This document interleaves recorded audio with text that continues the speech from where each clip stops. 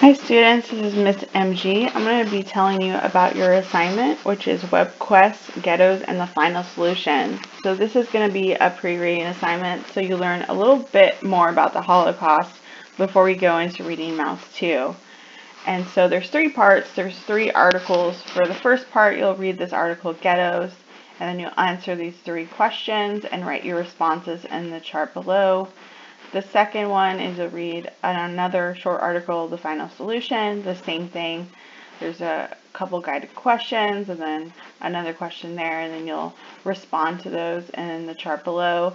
And then the same thing for the third part, which is you'll read the other article on Dr. Mengele and then you'll answer these questions and put your responses in the chart below.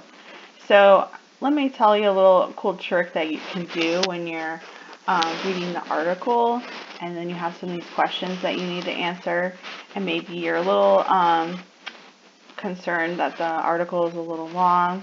You can use the tool Read and Write, which is another Google Chrome extension, and you can have some of the articles read to you, and then there's also the option to look at definitions for words or to even translate if you uh, would like that option. So the, for the first article, it's called Ghettos, and you'll be reading what one of the questions will be, what was the purpose of the ghettos? Why were they created? So that's a guided question. That's something you need to look for in that article. Then list three facts about the ghettos. What are three interesting or important facts? Basically three things you don't know that, you know, um, you haven't heard before while you are reading the short article Ghettos. And then finally, the last question is, how would life be different if you were living in one of these ghettos? What current freedoms would you miss? So this last question is about you. If you were living in the ghettos, how would life be like for you? And then if you were living in the ghettos, what kind of freedoms um, would you not be able to have anymore? So that's a question to answer. So you want to open up the article. And if you're opening up the article and you're looking through it and you start reading it, um, let's say um, you prefer audio recordings or listening to audio, you might want to pull up your uh, read and write extensions. You go to this puzzle piece in the corner of your screen where I'm pointing to, and you want to pull up, make the, make sure you have this extension, which is a purple puzzle, pub, purple puzzle piece with an R and W on it, and then you open that up, and then this bar will open up on the screen. So it's basically a toolbar and then let's say you want to have the article read to you. You hit this play button. You might want to make sure you highlight the part that you want to be read to you so it doesn't read any other random things on the page that you don't want to be read. You can also just start with the title too. And then you hit the little play button. Origin of the term ghetto. The term ghetto originated from the name of the Jewish quarter in Venice. So maybe you want to pause the reading, you hit pause, and then you see how everything's grayed out. Let's say you're done with having that part read to you, you hit the stop button, and then all the other options show up.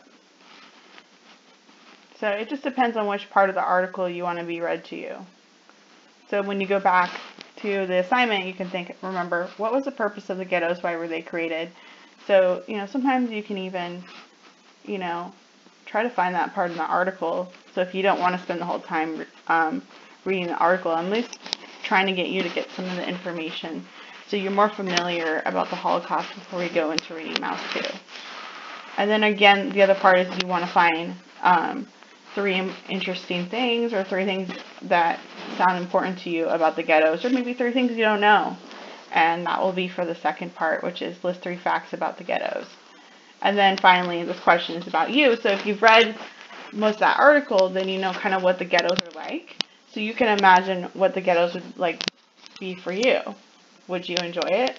And then what kind of freedoms or restrictions would um, impact you that you couldn't have if you lived in the ghettos? So that's for the first part. The second part is the same thing. You're going to read a short article, the final solution. Then you're going to respond to the question that's below in the chart, which is what was Auschwitz? Where was it located? So what is Auschwitz? And then the second one is list four important alarming facts about Auschwitz. and then find two photos from Auschwitz. That means you have to look up two photos and insert them there. So let's open this article and do the same thing. So Auschwitz. Again, maybe you want this read to you. So highlight it. Make sure, you're going to have to probably pull up the extension every time because you're on a new article. Go to the puzzle piece, the gray one. Select the purple puzzle piece that has the R and W on it. Click on it. The bar will come up. Let's say you want that part read to it. Make sure you highlight it so it doesn't read all the random stuff on the page. Hit play. Auschwitz was the largest camp established by the Germans. Pause. It was a complex of camps, including a concentration. Then clear if the black box if you want that old to go away. Again, you want to answer what is Auschwitz, find four interesting or important or facts that you don't know about Auschwitz, and then you want to find photos. So let's say you want to get a photo of Auschwitz. Copy image, you right click on it, and then you'd go here, and then you would paste it in. And there's your one of your first images of Auschwitz. So undo. So again, this is for you to be familiar with the place that they're sending people who are Jewish. They're sending them to this place. Why is this, what is this place? So you got to read that article to figure that out. And the last part is first read the short article on Dr. Mengele.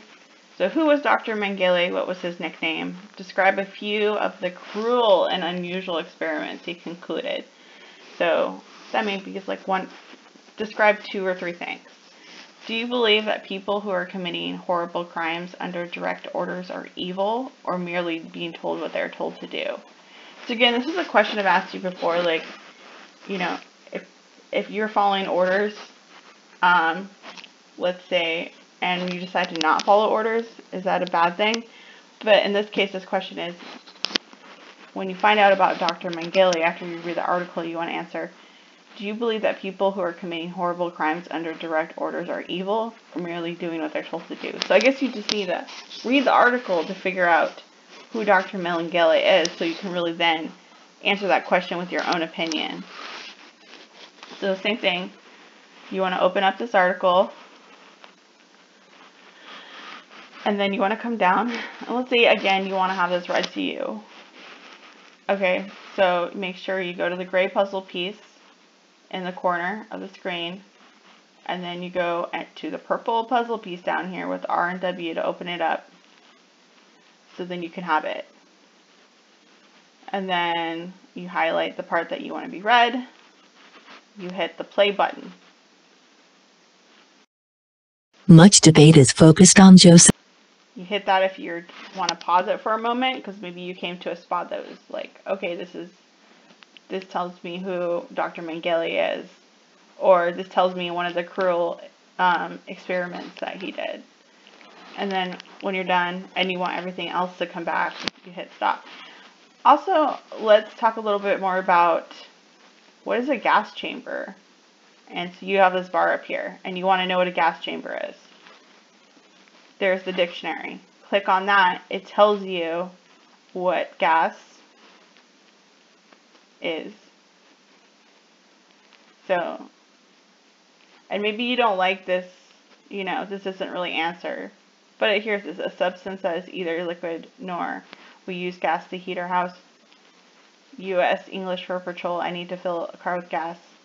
So maybe it's not really, but you can see that this is also highlighted. So it takes you to another page. But stay on this page.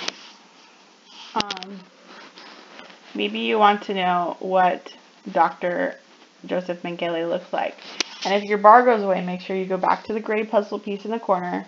You hit the purple puzzle piece with R and W, so then this bar comes up. Maybe you want to see more about like a, a picture of Joseph Mengele. Then you highlight that. You can go on this web search, which will take you to the Google, but then it's, you're basically web searching this person that you highlighted. And then it'll take you and it'll tell you more about him.